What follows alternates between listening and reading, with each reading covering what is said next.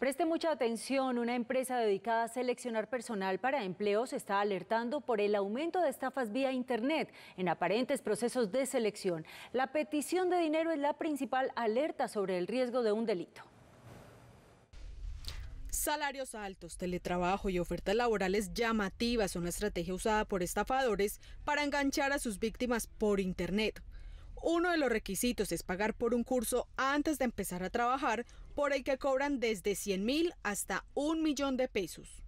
Se les ha notificado que cuando uno va a buscar trabajo nunca te piden plata. Crean perfiles falsos porque normal ya hemos cogido varios números telefónicos, pero ninguno. Ya cuando nosotros llamamos, ya no aparece, ya no contestan, o cuando la persona te consigna, ya no vuelven a aparecer esos números telefónicos. Todos por medio de WhatsApp. La primera llamada, siempre los llaman a ellos, eh, ya después todos por medio de WhatsApp. Los delincuentes usan información de empresas bien reputadas para generar más confianza en las víctimas. Una sola empresa lleva tres años recibiendo reclamos de quienes han caído por el uso de sus datos.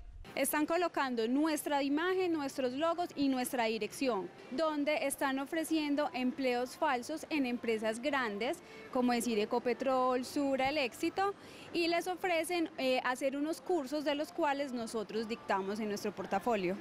La principal recomendación es siempre verificar los datos de las ofertas laborales, no consignar dinero y no olvidar que cuando el milagro es muy bueno, hay que desconfiar del santo.